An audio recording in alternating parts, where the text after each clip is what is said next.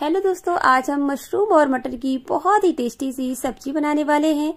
तो ये मैं आपको बहुत ही आसान तरीके से बताने वाली हूँ तो आप इसे एक बार ज़रूर ट्राई करना। तो इसको बनाने के लिए हम पहले कुछ मशरूम ले लेंगे और इसको अच्छे से पहले वॉश कर लेंगे, फिर इसे कट करके रेडी कर लेंगे।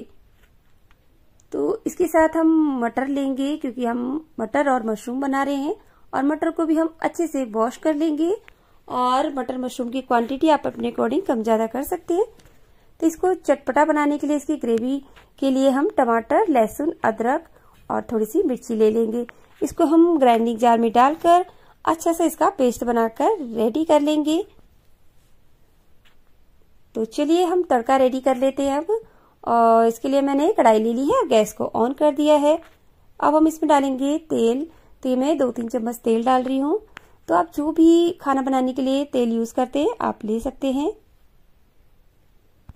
तो ये देखिए, तेल जैसे ही हमारा बहुत अच्छे से गर्म हो जाएगा, तेल अच्छे से गर्म होने के बाद ही हम इसमें डालेंगे थोड़ा सा जीरा और तो ये देखिए, तेल गर्म हो गया है, जीरा हम डाल देंगे। और जीरा हमारा जैसे ही अच्छे से भुन जाएगा तेल में तो उसके बाद इसमें हमने जो टमाटर को पेस्ट करके बनाया था इसको हम सारा पेस्ट इसमें डाल देंगे। अब इसमें हम कुछ सूखे मसाले ऐड करेंगे, जो कि बहुत ही आसानी से हमारे घर में मिल जाते हैं, वही सब डालेंगे। थोड़ा सा हल्दी पाउडर डालेंगे और थोड़ा सा ये धनिया पाउडर थोड़ा सा गरम मसाला और थोड़ा सा इसमें मैं ये लाल मिर्च का पाउडर डालूँगी। तो ये तीखा वाला लाल मिर्च नहीं है तो आप इसको मतलब मैं जो सिर्फ़ कलर के लिए डाल रही हूँ। आप जैसा चाहो वैसा यूज़ कर सकते हैं मिर्ची, जो भी आपको तीखी आप जितना खाना पसंद करते हैं। और थोड़ा सा नमक डाल दूँगी। तो बस सारे मसाले हमने यहीं पर डाल दिए हैं और जैसे कि ये धीरे धीरे सारे मसाले अच्छे से भून जाएँगे। बस इसको हम धीरे धीरे चलाते हुए सारे मसाले को अच्छे से भून लेंगे और ग्रेवी के साथ ही हमारे मसाले भी अच्छे से इसमें भुन जाएँगे। जिससे क्या होगा कि हमारे मसालों में कच्चापन बिल्कुल भी नहीं रहेगा। तो इस तरीके से एक बार में डालने से ना सारी चीज़ें अच्छे से भुन जाती है आपस में। तो बस थोड़ा सा इसको ढाकते हुए और थोड़ा थोड़ा चलाते हुए इसको हम मसाले को भून लेंगे। तो बस मेन काम हमारा है कि मसाले को भूनना। ये ग्रेवी को हमें अच्छे से पकाना है ताकि बिल्कुल भी कच्चापन ना रहे और हमारी जो सब्ज़ी बहुत ही टेस्टी बनकर रेडी होगी। तो ये देखिए बीच बीच में चलाते रहना चाहिए, वरना क्या होता है कि तले में चिपक जाता है और मसाला फिर जल जाता है तो फिर सब्ज़ी का टेस्ट है, वो फिर अच्छा नहीं लगता। तो बस ये देखिए इस तरीके से चलाते रहेंगे। और ये जो हमारा जो मसाला ये देखिए अच्छे से भुन चुका है तो इस साइड से इसने ऑयल छोड़ देते हैं ना तो इससे पता चल जाता है कि हमारा मसाला अच्छे से भुन चुका है, बिल्कुल भी कच्चा नहीं है। तो बस इस तरीके से मसाला हमारा भुन चुका है।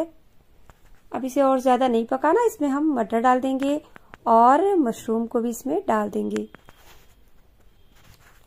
अब इसको हम थोड़ा सा चलाएँगे। ताकि जो मसाला है, मटर और मशरूम में अच्छे से मिक्स हो जाए। तो ये देखिए, बहुत ही टेस्टी सी सब्ज़ी बनती है और इसे आप एक बार ट्राई ज़रूर करना। बहुत ही आसान तरीके से मैंने बताई है। तो ये देखिए, अब इसमें हम थोड़ा सा पानी डाल देंगे। तो यहाँ पर मशरूम और मटर हमारे कच्चे हैं। तो हमें यहाँ पर अभी बहुत ज़्यादा पानी नहीं डालना है।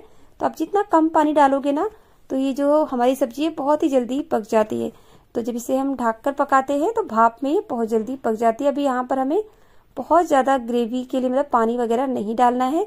जब ये हमारी सब्ज़ी पक जाएगी ना, अच्छे से स्टीम से, तब उसके बाद लास्ट में हमें इसमें ग्रेवी अपने मतलब जितना भी आपको खाना उस हिसाब से ग्रेवी इसमें हम ऐड मतलब ग्रेवी की कंसिस्टेंसी करेंगे।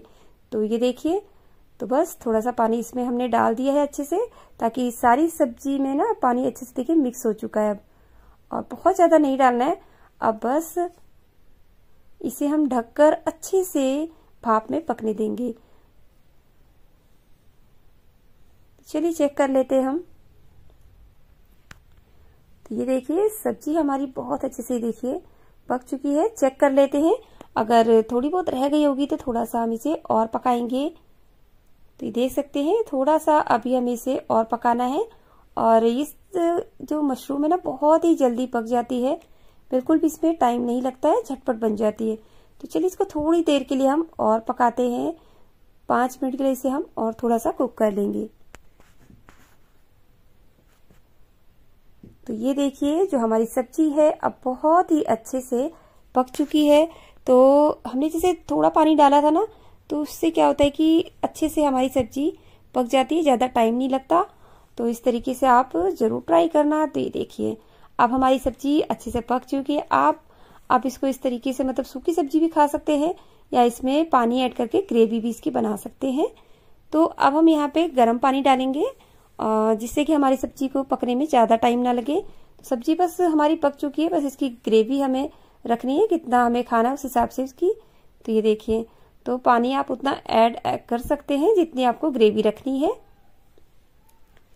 तो बस गर्म पानी डालेंगे। तो सब्ज़ी को हमें बहुत ज़्यादा पकाना नहीं पड़ेगा। और इसका टेम्परेचर जैसे मेंटेन रहता है ना, उस हिसाब से इसलिए हमें गर्म पानी ही डालना चाहिए जब हमें सब्ज़ी को बहुत ज़्यादा ना पकाना हो। तो ये देखिए ग्रेवी हम अच्छे से मेंटेन कर लेंगे। जितना भी हमें ग्रेवी रखनी है, उतना पानी इसमें हम डाल देंगे। तो बस मैं तो इतनी ही ग्रेवी रख रही हूँ। और ये देखिए, कितनी अच्छी लग रही है हमारी सब्ज़ी। तो बस खाने में भी ये बहुत ही टेस्टी थी। तो आप इसे बच्चों को बनाकर ज़रूर दीजिए, क्योंकि मशरूम बहुत ही हेल्दी होते हैं और बच्चे बहुत ही आराम से इसे खा भी लेते बच्चों को बहुत ज़्यादा पसंद आती है। तो इस तरीके से झटपट से बनाकर आप भी ज़रूर ट्राई करें एक बार और इसमें हम धनिया पत्ता डाल देंगे, जिससे कि सब्ज़ी हमारी देखने में और भी अच्छी लगेगी। देखिए गार्निश कर दिया है। तो सब्ज़ी हमारी बनकर रेडी हो चुकी है। अब गैस को बंद कर देंगे। अब हमें इसे बिल्कुल भी नहीं पकाना है ज़्यादा। तो ये देखिए, चटपटी सी मटर और मशरूम की सब्ज़ी बनकर रेडी है तो आप भी इसे ट्राई करें और वीडियो पसंद आए वीडियो को लाइक करें चैनल को सब्सक्राइब करें, ताकि ऐसी और अच्छी वीडियो मैं आपके लिए लाती रहूँ। बाय बाय दोस्तों टेक केयर